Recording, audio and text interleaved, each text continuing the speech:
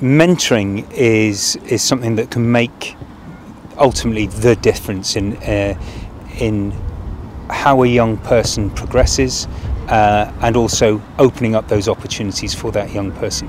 Mentoring effectively is passing on experience that the mentor has gained over the years. And, and that mentor might not realize that they have that experience until they start talking to the young person.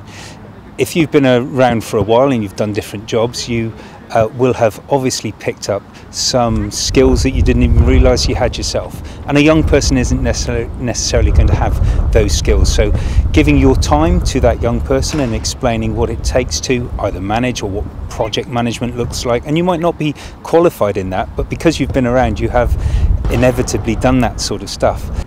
The benefits of mentoring for the mentor is to um, actually see the light come on in the young person um, you realise, and it's, it's, incredibly rewarding actually, is, is to, to see what um, might have been quite complex for, uh, task for them to achieve in the, in the first instance is something that they're achieving with ease later on.